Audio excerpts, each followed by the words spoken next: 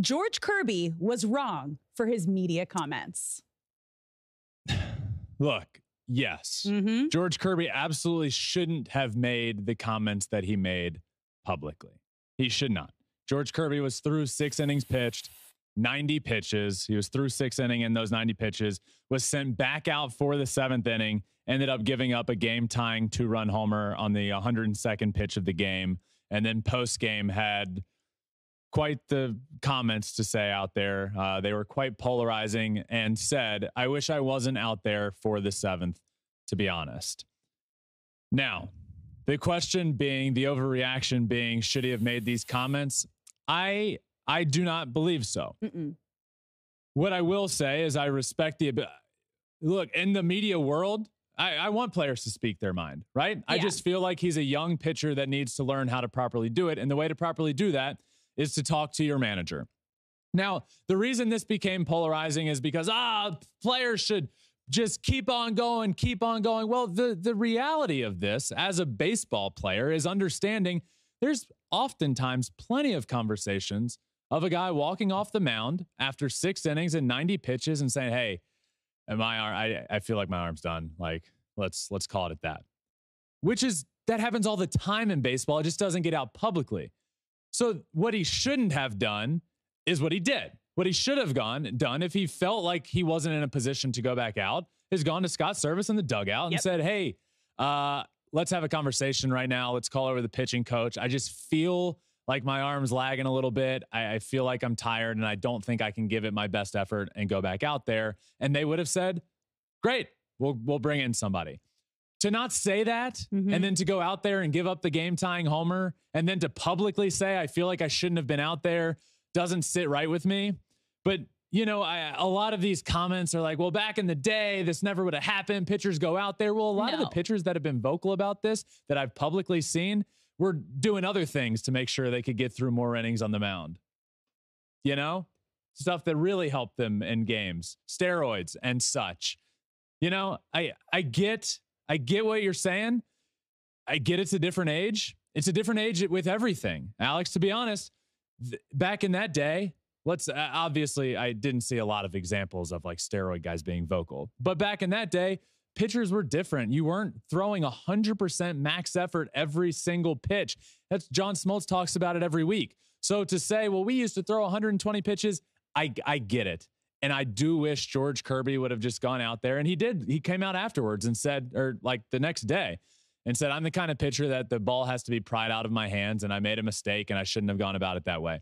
I agree with that. I I I think if he could have and should have, you should have gone back out there. I understand everybody up in arms about this. The big reason I'm saying these comments shouldn't have been made is because they should have been had in the dugout. And if he didn't feel like he was okay to go back out, he should have told his coaches, and this never should have been made public, and never nobody would ever be making a big deal of this. the thing you have to remember, you're not going to have your best stuff or you're not going to have a great game Yeah. every single time you come out there. We see that with athletes. That's why we see pitchers get pulled in the second, third, fourth inning. Sometimes it's just not there. And the the part with with Kirby is once you're mentally out of it, and if he didn't believe he should have gone out there for that seventh Right. inning, you're toast. If you're mentally not in it and you're already thinking I shouldn't be out there, there's no way that you're going to execute the way that you should. You're not going to hit your spots. You're not going to have your best stuff.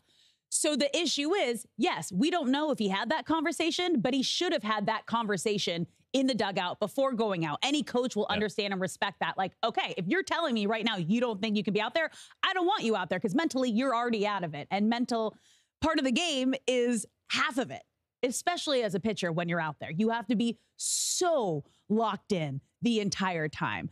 So, yeah, this was a young pitcher's mistake of how to connect and talk to the media. You should never kind of air these conversations out that Yeah. way where you're kind of maybe throwing your manager under the bus of like we don't like did he ask him and he still put him back out there like did they have the conversation are you saying like he like it was his fault because he shouldn't have been out there's just so many different ways you can take it and again i think it's like knowing your body knowing when you have it so that's why i don't think it's the he doesn't like he's not a fighter he doesn't want to stay out there that's not it sometimes your body just doesn't have it past a certain point Yeah. it just it, he didn't go about it the right way I think I think the narrative that's out there publicly and why people are frustrated is because he doesn't have the grit, he doesn't have what it takes. And that's not where my frustration comes into No. play here. I get it. And and I also am old school in that line of thinking. Like I want to see pitchers go deep into the games and I want to see more complete games and I want to see starters push well past the 100 pitch mark and show some grit out on the mound. But my frustration from this situation doesn't come from that. It comes from this is a young guy that I think handled this poorly. Poorly. Yeah. And he should have had these conversations in the dugout. The fact that they were aired out, uh, to your point, if this was brought up in the dugout and Yeah. he was sent back out there, that would be a whole other issue. Yeah. I don't think that conversation was had in the dugout. It should have been. It wasn't. And that's where my frustration and reasoning for him, he shouldn't have made these uh, these comments come into play. But the game's different. As Yeah. much as anybody, the, we need to we need to admit the game is different. Pitchers throw differently. Uh, we don't see pitchers throwing deep uh, 120, 130 pitches anymore because it's so max effort. Yeah. So sometimes 90 pitches, especially if they're high stress pitches and runners are on base, sometimes they're just exhausted, and that's okay. Mhm. But just communicate that with the manager and not with the media that Yeah. then's going to get publicly aired. So Yeah. uh, he shouldn't have made the comments. It also